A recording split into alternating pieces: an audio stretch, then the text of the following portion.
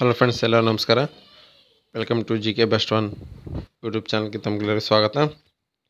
ಈ ಒಂದು ಆಡಿಯೋ ಕ್ಲಾಸಿನಲ್ಲಿ ನಾವು ಸೈಕಾಲಜಿ ಮುಂದುವರೆದ ಭಾಗವಾದಂಥ ಇಪ್ಪತ್ತು. ಸೊ ಇಲ್ಲಿ ಸಾರಿ ಕಲಿಕೆ ಬಗ್ಗೆ ನೋಡೋಣ. ಕಲಿಕೆಯ ಅರ್ಥ ಮೀನಿಂಗ್ ಆಫ್ ಲರ್ನಿಂಗ್ ಶಿಕ್ಷಣ ಕ್ಷೇತ್ರದಲ್ಲಿ ಕಲಿಕೆಯು ಮಹತ್ವರವಾದ ಒಂದು ಸ್ಥಾನವನ್ನು ಪಡೆದಿದೆ. ಶಿಕ್ಷಣದ ಪ್ರತಿಯೊಂದು ಕಾರ್ಯಕ್ರಮಗಳು, ಚಟುವಟಿಕೆಗಳು ಉತ್ತಮ ಕಲಿಕೆಯನ್ನು ಉಂಟು ಮಾಡಲು ನಿಯೋಜಿಸಲಾಗಿದೆ. ಹಾಗಾಗಿ ಕಲಿಕೆ ಅಂದರೆ ಏನು? ಉತ್ತಮವಾದ ಕಲಿಕೆಯನ್ನು ಉಂಟು ಮಾಡಲು ಎಂಥ ಸನ್ನಿವೇಶವನ್ನು ಒದಗಿಸಬೇಕು? ಎಂಥ ಬೋಧೋಪಕ, ಬೋಧನೋಪಕರಣಗಳನ್ನು ಒದ, ಬಳಸಬೇಕು? ಕಲಿಸುವವನು ಹೇಗೆ ವರ್ತಿಸಬೇಕು? ಎಂಬುದನ್ನು ಕಲಿಕಾ ಸಿದ್ಧಾಂತ, ನಿಯಮಗಳು, ಪ್ರಯೋಗಗಳ ಸಾರದ ಮೂಲಕ ತಿಳಿಯಪಡಿಸುತ್ತದೆ. ಇತರ ಜ್ಞಾನದ ಮೂಲಕ ತರಗತಿ ಶಿಕ್ಷಕರು ಪರಿಣಾಮಕಾರಿಯಾದ ಬೋಧನೆ ಮಾಡಿ ಅರ್ಥಪೂರ್ಣವಾದ ಕಲಿಕೆಯನ್ನು ಉಂಟು ಮಾಡಲು ಸಾಧ್ಯವಾಗಿದೆ. ಮಗುವಿನ ಪ್ರಾರಂಭದ ವರ್ತನೆ, ಮಗುವು ಯಾವುದೇ ವಿಷಯದಲ್ಲಿ ತಾನು ಅನುಭವ ಪಡೆಯುವ ಮೊದಲ ಕುತೂಹಲದ ಕುತೂಹಲದಿಂದ ಆ ವಿಷಯ ಅಥವಾ ವಸ್ತುವನ್ನು ಮುಟ್ಟುವುದು. ಹಾಗಾದರೆ ಕಲಿಕೆ ಅಂದರೆ ಏನಪ್ಪ ಅಂದರೆ, ಪ್ರತಿಯೊಂದು ಜೀವ ತನ್ನ ಜೀವಿತಾವಧಿಯಲ್ಲಿ ಅನೇಕ ಸಾಮರ್ಥ್ಯಗಳನ್ನು, ಪ್ರವೃತ್ತಿಗಳನ್ನು ಕೌಶಲ್ಯಗಳನ್ನು ವಿಷಯಗಳನ್ನು ತನ್ನದಾಗಿಸಿಕೊಳ್ಳುತ್ತಾನೆ. ಅದನ್ನು ನಾವು ಸಾಮಾನ್ಯ ಪದದಲ್ಲಿ ಕಲಿಕೆ ಉಂಟು ಆಗಿದೆ ಎಂದು ಹೇಳ್ತೇವೆ ಹೇಳ್ತೇವೆ. ಸರಳವಾಗಿ ಹೇಳುವುದಾದರೆ ಜೀವಿಯ ಅಥವಾ ಮಾನವನ ಪೂರ್ವದ ಹಾಗೂ ನಂತರದ ವರ್ತನೆಯಲ್ಲಿ ಆದ ಬದಲಾವಣೆಯನ್ನು ಕಲಿಕೆ ಎಂದು ಕರೆಯುತ್ತಾರೆ ಸೊ ಇಂಥ ಕಲಿಕೆಯ ವಾಕ್ಯಗಳು ಡೆಫಿನಿಷನ್ಸ್ ಆಫ್ ಲರ್ನಿಂಗ್ ತಾನ್ ಡೈಕ್ ಅವರ ಪ್ರಕಾರ ಪ್ರಚೋದನೆ ಮತ್ತು ಪ್ರತಿಕ್ರಿಯೆಗಳ ನಡುವಿನ ಸಂಬಂಧವೇ ಕಲಿಕೆ. ಇವರೇನು ಹೇಳ್ತಾರೆ? ಪ್ರಚೋದನೆ ಮತ್ತು ಪ್ರತಿಕ್ರಿಯೆಗಳ ನಡುವಿನ ಸಂಬಂಧವೇ ಕಲಿಕೆ ಹೇಳಿ ಅವ್ರು ಅವರು ಹೇಳ್ತಾರೆ. ಗೇಟ್ಸ್ ಅವರ ಪ್ರಕಾರ, ಅನುಭವದ ಮೂಲಕ ವರ್ತನೆಯಲ್ಲಾಗುವ ಬದಲಾವಣೆಯೇ ಕಲಿಕೆ. ಸ್ಮಿತ್ ಅವರ ಪ್ರಕಾರ, ಹೊಸ ವರ್ತನೆಗಳನ್ನು ಸಂಗ್ರಹಿಸುವುದು ಇಲ್ಲವೇ ಹಳೆಯ ವರ್ತನೆಯನ್ನು ಸನ್ನಿವೇಶಕ್ಕನುಗುಣವಾಗಿ ಮಾರ್ಪಾಡಿಸುವುದೇ ಕಲಿಕೆ ಅಂತ ಹೇಳ್ತಾರೆ. ಅದೇ ರೀತಿ ಒಂದು ಕಲಿಕೆ ಗುಣಲಕ್ಷಣಗಳು ಕ್ಯಾರೆಕ್ಟರಿಸ್ಟಿಕ್ಸ್ ಆಫ್ ಲರ್ನಿಂಗ್ ಕಲಿಕೆ ಒಂದು ನಿರಂತರ ಪ್ರಕ್ರಿಯೆಯಾಗಿದೆ. ಕಲಿಕೆಯು ನಿರಂತರವಾದ ಪ್ರಕ್ರಿಯೆಯಾಗಿದೆ. ಇದು ಹುಟ್ಟಿನಿಂದ ಹಿಡಿದು ಸಾಯುವವರೆಗೆ ನಡೆಯುತ್ತದೆ. ಕಲಿಕೆಯು ಜೀವಿ ಹುಟ್ಟಿನಿಂದ ಸಾಯುವವರೆಗೆ ಹಾಗೂ ಎಲ್ಲ ಕಾಲದಲ್ಲಿ ನಿರಂತರವಾಗಿ ಸಾಗುವ ಒಂದು ಪ್ರಕ್ರಿಯೆಯಾಗಿದೆ. ಇತ್ತೀಚಿನ ಸಂಶೋಧನೆಗಳ ಪ್ರಕಾರ ತಾಯಿಯ ಗರ್ಭದಲ್ಲೇ, ಅಂದರೆ ಭ್ರೂಣಾವಸ್ಥೆಯಿಂದಲೇ ಕಲಿಕೆ ಪ್ರಾರಂಭವಾಗುತ್ತದೆ ಎಂದು ತಿಳಿಯಪಡಿ, ತಿಳಿಯಪಡಿಸಲಾಗಿದೆ. ಕಲಿಕೆ ಸಾರ್ವತ್ರಿಕವಾದದ್ದು.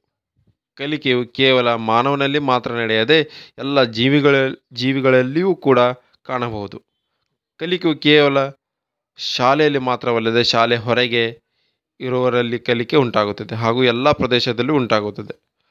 ಕಲಿಕೆಯು ಪ್ರಗತಿಯ ಒಂದು ಚಿಹ್ನೆ. ಜೀವಿಯಲ್ಲಿ ಕಲಿಕೆಯು ಧನಾತ್ಮಕವಾಗಿರದೆ ಅದು ಜೀವಿಯ ಅಭಿವೃದ್ಧಿಯತ್ತ ಸಾಗಿಸುತ್ತದೆ. ತನ್ನ ಜೀವನ ಶೈಲಿಯನ್ನು ಸುಧಾರಿಸುವುದು ಇದು ಪ್ರಗತಿಯ ಒಂದು ಚಿಹ್ನೆಯಾಗಿದೆ. ಕಲಿಕೆಯು ಧನಾತ್ಮಕವಾಗಿರಬಹುದು ಅಥವಾ ಋಣಾತ್ಮಕವಾಗಿರಬಹುದು. ಜೀವಿಯಲ್ಲಿ ಉಂಟಾಗುವ ವರ್ತನಾ ಬದಲಾವಣೆಯು ಸಮಾಜದಿಂದ ಅಂಗೀಕರಿಸಲ್ಪಟ್ಟರೆ ಅಥವಾ ಗೌರವಿಸಲ್ಪಟ್ಟರೆ ಅದು ಧನಾತ್ಮಕವಾದದ್ದು. ಕೆಲವೊಮ್ಮೆ ಜೀವಿಯಲ್ಲಿ ಉಂಟಾಗುವ ವರ್ತನಾ ಬದಲಾವಣೆಯು ಸಮಾಜದಿಂದ ತಿರಸ್ಕಾರ ಮಾಡಲ್ಪಟ್ಟರೆ ಅದು ಋಣಾತ್ಮಕ ಬದಲಾವಣೆ ಆಗಿರುತ್ತದೆ. ಶಿಕ್ಷಣದಲ್ಲಿ ಧನಾತ್ಮಕವಾದ ಕಲಿಕೆಗೆ ಅವಕಾಶವಿದೆ. ಶಿಕ್ಷಣವು ವ್ಯಕ್ತಿಗೆ ಹಾಗೂ ಸಮಾಜಕ್ಕೆ ಉಪಕಾರಿಯಾದ ಧನಾತ್ಮಕ ಕಲಿಕೆಯನ್ನು ಉಂಟು ಮಾಡುತ್ತದೆ. ಮತ್ತೊಂದು ಲಕ್ಷಣ, ಕಲಿಕೆಯು ಆಂತರಿಕ ಹಾಗೂ ಬಾಹ್ಯ ಪ್ರೇರಣೆಯಿಂದ ಉಂಟಾಗುವುದು. ಯಾವುದೇ ಜೀವಿಯಲ್ಲಿ ಕಲಿಕೆ ಉಂಟಾಗಬೇಕಾದರೆ ಆ ಜೀವಿಯ ತನ್ನ ಆಂತರಿಕ ಹಾಗೂ ಬಾಹ್ಯ ಪ್ರೇರಣೆಯಿಂದ ಕಲಿಕೆ ಉಂಟಾಗುತ್ತದೆ. ಕಲಿಕೆಯು ಶಾಶ್ವತವಾದದ್ದು ಹಾಗೂ ಅನ್ವಯಿಸಬಹುದಾದದ್ದು ಆಗಿದೆ. ಕಲಿಕೆ ಅನುಭವ ಅಥವಾ ತರಬೇತಿಯಿಂದ ಉಂಟಾಗುವುದು. ಕಲಿಕೆಯು ಜೀವಿಯಲ್ಲಿ ಹೊಸ ಸಾಮರ್ಥ್ಯವನ್ನು ತುಂಬಬಹುದು ಅಥವಾ ಇರುವ ಸಾಮರ್ಥ್ಯವನ್ನು ಪ್ರಬಲಗೊಳಿಸಬಹುದು ಹಾಗೂ ಇಮ್ಮಡಿಗೊಳಿಸಬಹುದು. ಅದೇ ರೀತಿ ಕಲಿಕೆಯ ವಿಧಗಳು ಬರ್ತವೆ. ಅದರಲ್ಲಿ ಎರಡು ವಿಧ. ಕ್ರಿಯಾಗತ ಕಲಿಕೆ, ಇದು ಸ್ನಾಯುಗಳ ಸ್ನಾಯುಗಳ ಸಹಾಯ ಸಹಾಯದಿಂದ ಆಗುತ್ತದೆ. ಮತ್ತೊಂದು ಮನೋಗತ ಕಲಿಕೆ. ಇದು ಮಿದುಳು ಹಾಗೂ ಪಂಚೇಂದ್ರಗಳ ಒಂದು ಪ್ರಧಾನವಾಗಿದೆ. ಸೊ ಕ್ರಿಯಾಗತ ಕಲಿಕೆ. Manual learning. ಜೀವಿಯಲ್ಲಿ ತನ್ನ ಅವಯವ ಅಥವಾ ಸ್ನಾಯುಗಳ ಸಹಾಯದಿಂದ ಉಂಟಾಗುವ ಕಲಿಕೆಯನ್ನು ಕ್ರಿಯಾಗತ ಕಲಿಕೆ ಎನ್ನುವರು. ಉದಾಹರಣೆಗೆ, ಈಜುವುದು, ಸೈಕಲ್ ಸವಾರಿ ಮಾಡುವುದು. ಕ್ರಿಯಾಗತ ಕಲಿಕೆಯಲ್ಲಿ ಮಿದುಳು ಹಾಗೂ ಪಂಚೇಂದ್ರಗಳು ಸಹಾಯ ಮಾಡಿದರೂ ಪ್ರಮುಖ ಪಾತ್ರ ವಹಿಸುವ ಸ್ನಾಯುಗಳೇ. ಉದಾಹರಣೆ ಎಳೆಯುವ ಸೈಕಲ್ ಸವಾರಿ ಮಾಡಲು ಸಾಧ್ಯವಿಲ್ಲ. ಇದು ಸ್ನಾಯುಗಳ ಬಲವನ್ನು ನಿರೀಕ್ಷಿಸುತ್ತದೆ. ಅದೇ ರೀತಿ ಮೊ, ನೆಕ್ಸ್ಟ್ ಇನ್ನೊಂದು ರೀತಿ ಕಲಿಕೆ ವಿಧಾನ. ಮನೋಗತ ಕಲಿಕೆ, ಮೆಂಟಲಿ ಲರ್ನಿಂಗ್. ಜೀವಿಯಲ್ಲಿ ಉಂಟಾದ ಕಲಿಕೆಯು ಮೆದುಳು ಹಾಗೂ ಪಂಚೇಂದ್ರಿಯಗಳ ಸಹಾಯದಿಂದ ಪಡೆದ ಜ್ಞಾನದಿಂದ ಪಡೆಯುವಂಥ ಕಲಿಕೆ, ಜ್ಞಾನದಿಂದ ಪಡೆಯುವಂಥ ಕಲಿಕೆ, ಮನೋಗತ ಕಲಿಕೆ ಅನ್ನೋರು. ಉದಾಹರಣೆಗೆ ಗೌರವ ಪಾಂಡಿತ್ಯ, ಅನುಕಂಪ ಕರುಣೆ. ಸೊ ಕಲಿಕೆಯ ಹಂತಗಳು ಸ್ಟೇಜಸ್ ಆಫ್ ಲರ್ನಿಂಗ್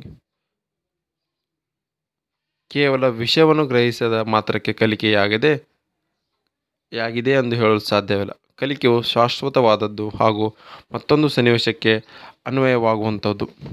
ಇದರಲ್ಲಿ ಕೆಲವು ಹಂತಗಳು ಬರ್ತವೆ. ಮೊದಲನೇದಾಗಿ, ಪರಿಚಯಿಸಿ, ಪರಿಚಯಿಸಿಕೊಳ್ಳುವುದು ಮೊದಲನೇ ಹಂತ. ಎರಡನೇ ಹಂತ, ದೃಢಪಡಿಸಿಕೊಳ್ಳುವುದು. ಮೂರನೇ ಹಂತ, ಅನ್ವಯಿಸಿಕೊಳ್ಳುವುದು. ಕಲಿಕೆಯ ಹಂತಗಳು ಅಥವಾ ಕೌಶಲ ಅಥವಾ ಸಾಮರ್ಥ್ಯವನ್ನು ವೃದ್ಧಿಸಿಕೊಳ್ಳಿಸುವ ಒಂದು ಹಂತಗಳು. ಮೊದಲನೇದಾಗಿ ಪರಿಚಯಿಸಿಕೊಳ್ಳುವುದು, ದೃಢಪಡಿಸಿಕೊಳ್ಳುವುದು ಹಾಗೂ ಕೊನೆಯದಾಗಿ ಅನ್ವಯಿಸಿಕೊಳ್ಳುವುದು. ಇವು ಕಲಿಕೆಯ ಹಂತಗಳು ಅಂತ ಕರಿತಾವೆ. ಅದೇ ರೀತಿ ಕಲಿಕೆಯ ವಿಧಾನಗಳು ಕೂಡ ಇವೆ. ಮೆಥಡ್ಸ್ ಆಫ್ ಲರ್ನಿಂಗ್ ಅವುಗಳೆಂದರೆ ತಿದ್ದಿಕೊಂಡು ಕಲಿಯುವುದು ಅಥವಾ ಪ್ರಯತ್ನ ದೋಷ ಕಲಿಕೆ ಅನುಕರಣ ರೀತಿಯ ಕಲಿಕೆ, ವಿವೇಚನಾ ರೀತಿಯ ಕಲಿಕೆ, ಇವು ಕಲಿಕೆಯ ವಿಧಾನಗಳು ಆಗಿವೆ. ಸೊ ಅನುಕರಣೆಯ ಒಂದು ವಿಧಗಳು, ಅನುಕರಣ ರೀತಿಯ ಕಲಿಕೆಯಲ್ಲಿ ವಿಧಗಳು ಯಾವಪ್ಪ ಅಂದರೆ ಉದ್ದೇಶಪೂರ್ವಕ ಅನುಕರಣೆ ಹಾಗೂ ಪ್ರಾಸಂಗಿಕ ಅನುಕರಣೆ ಅಂತ ಎರಡು ವಿಧಗಳು ಬರ್ತವೆ. ಅದೇ ನಂತರ ವಿವೇಚನಾ ರೀತಿಯ ಕಲಿವು ಕೂಡ ನೋಡಬಹುದು. ಸೊ ಇದಾದ ನಂತರ ಕಲಿಕೆಯಲ್ಲಿಯ ಒಂದು ಸಿದ್ಧಾಂತಗಳು ಬರ್ತವೆ. ಥೇರೀಸ್ ಆಫ್ ಲರ್ನಿಂಗ್ಸ್ ಕಲಿಕೆಯ ಸಿದ್ಧಾಂತಗಳು. ತಾಂಡಾಯ್ಕಂದು, ಕೋಲರ್ದು, ಪಾವ್ಲೋದು,